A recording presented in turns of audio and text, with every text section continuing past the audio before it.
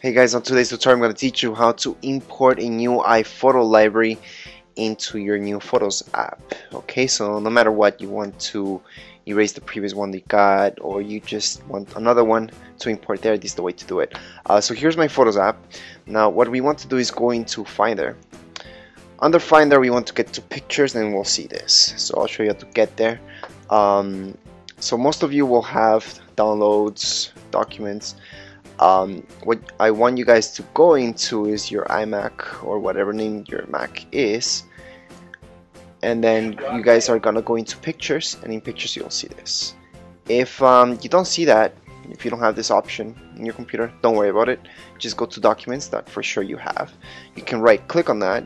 For right clicking you can just click on do a normal click plus press your control up key on your keyboard and you'll get this option okay so that's the same thing as your right clicking then uh, click on the second option which shows show in closing folder from there you guys are gonna see this okay so that's another way to get to here um, once you go into pictures you're gonna see this your photos library plus your iPhoto. So I already took it out of here, so that's why we don't see it. So mine is already right here. I put it on USB stick.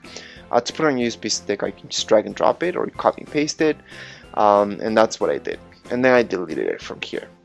That's just because I didn't need it anymore. But anyways um, so you guys would see this library right there.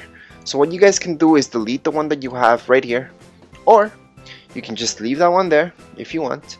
And you can just put in the new one that you have. So if you have another one from another computer for example you can just drag and drop this one right here so for drag and drop it okay? This one's quite huge so I'm not gonna do that right now because it's uh, 60 gigs so it's gonna take a while. Um, but anyways let's imagine that's there already. Now that's not the last step. What we want to do right now is the last step which is just clicking on your photos library app. But before you click on it press your Option or Alt key.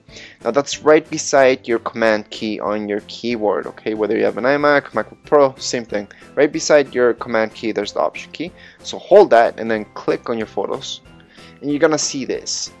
Right here is where you guys will see photos and your iPhoto, okay? So click on your second option. Now I don't have another second option right here since I didn't do the copy and pasting.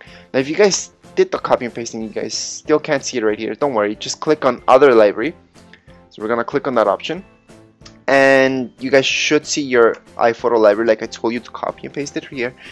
However, if you didn't do that like I didn't right now, which I highly suggest doing, um, you can just go to, well, for this example, my USB stick here, and then just click on my photos library, click on open, and once I do that, okay, once I do that, it's gonna import all that library into my Photos app. So I can just launch this. So I can just close this or just click on choose library, okay? And from there, once you choose the correct one, you can just launch your Photos app and it's gonna import everything. And then you're pretty much done. So that's it for this video tutorial. If you guys have any questions, comments, you can write them down here below. And don't forget to subscribe and rate. Thank you.